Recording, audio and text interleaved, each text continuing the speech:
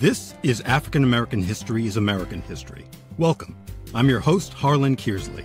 This program's goal is to foster understanding, promote discussion, and expand knowledge through stories of historical events, bios of unsung heroes, as well as timely and relevant news stories which, hopefully, will paint a vivid picture of the effects of segregation, discrimination, and bigotry on the lives of both blacks and whites. Comparisons will be made between the many racially fractured periods of American history and what's going on right now.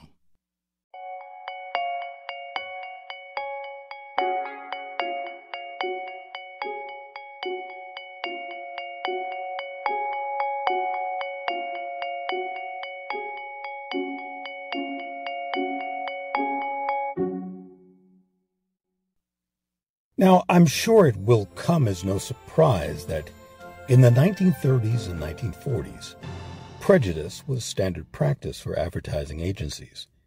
An African American during that time, no matter how qualified, found that getting hired to work in mainstream advertising for general market companies was difficult, to say the least.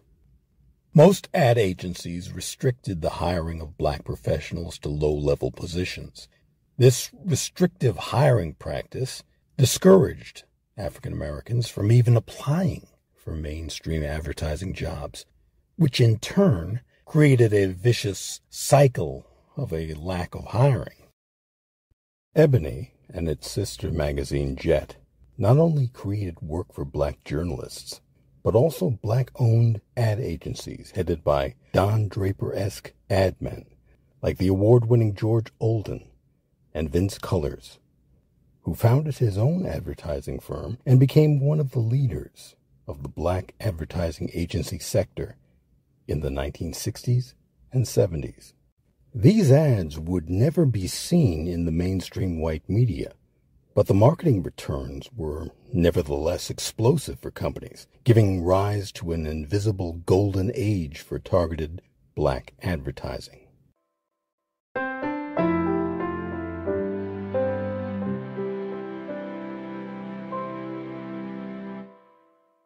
This is African American History is American History. Cigarette companies were among the first to work with black publications, and once the barriers were reluctantly broken, tobacco giants began aggressively targeting black Americans who at the time were smoking much less than white Americans. Alcohol, beverages, cosmetics, and automobile brands soon followed suit. But across the board, advertisements were generally a cut and paste job, meaning that the ads placed in Ebony and Jet were often created as white targeted campaigns, given no special creative attention other than replacing white faces with black ones. By the early 1950s, more than 40 black men were employed by American corporations in what were called, quote, Negro markets. A few, like Moses Kendrix of Coca Cola, actually helped to create advertising approaches to blacks in 1954. Much of the time, their work consisted of keeping straight up racism out of the ads. A black pioneer, David J. Sullivan, ran his own consulting firm on Fifth Avenue in the 1940s called Negro Market Organization. His do's and don'ts articles in the trade press spotlighted offensive marketing. No black ad men held a significant position in a major white agency until 1952, when another pioneer, Clarence Holt, was hired by BBD&O as head of their Negro Markets division. Holt became the first black professional hired in a significant executive position at a leading New York agency.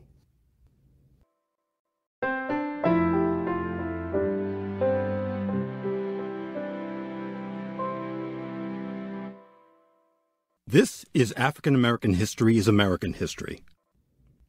Graphic designer George Elliott Olden is regarded as one of the pioneering blacks in television and advertising. Working at CBS, Olden helped to create the visual identities of shows such as Gunsmoke, I Love Lucy, Omnibus, and Lassie. He helped produce the vote tallying scoreboard for the first televised presidential election returns. George Eliot Olden was born in Birmingham, Alabama on November 13, 1920. His father, James Clarence Olden, was a Baptist minister, and his mother, Sylvia Ward Olden, was a music teacher. Olden joined BBD&O in 1960, where he was involved in all elements of commercial production. He won several Clio Awards, the Oscars of the ad industry, and is said to have been the designer of the Clio statuette.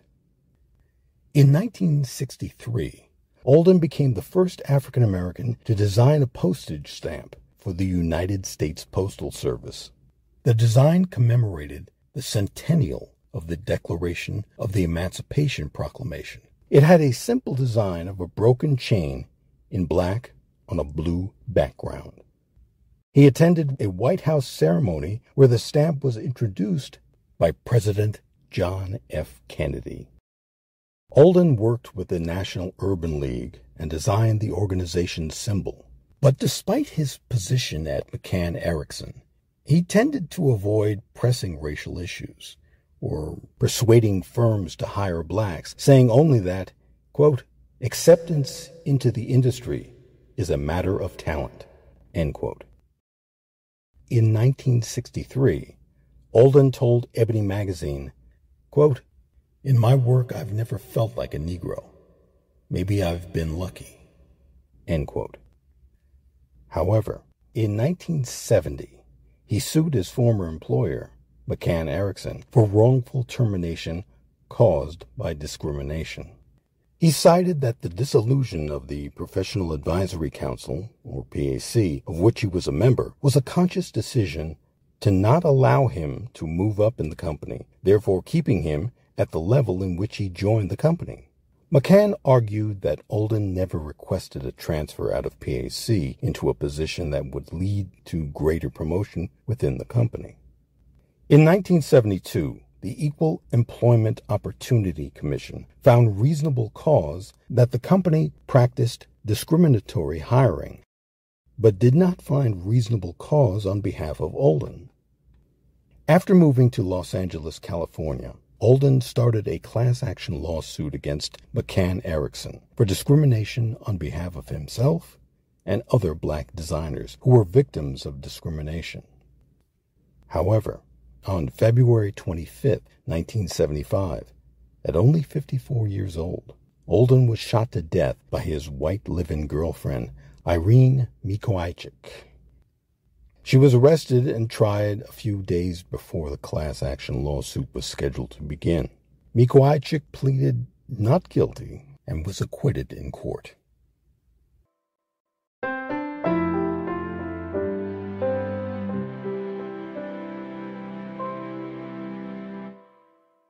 This is African American History is American History.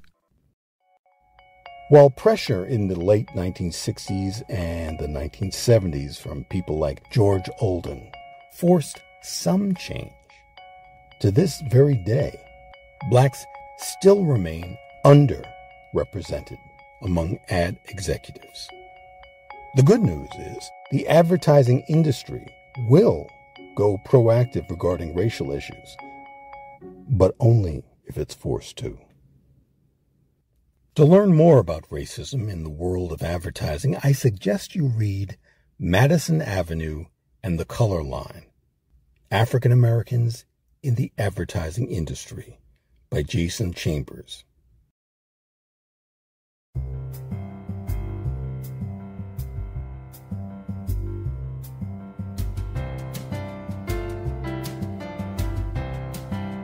This has been African American History is American History. The episode you've been listening to, Black Ad Men, a brief look at black pioneers in marketing and advertising, was written and directed by Harlan Kearsley. I'm Harlan Kearsley, and on behalf of everyone here at African American History is American History, thank you for listening. And if you haven't done so, please subscribe. Once you do, You'll be notified as soon as new episodes are posted. Thanks again, and please stay safe.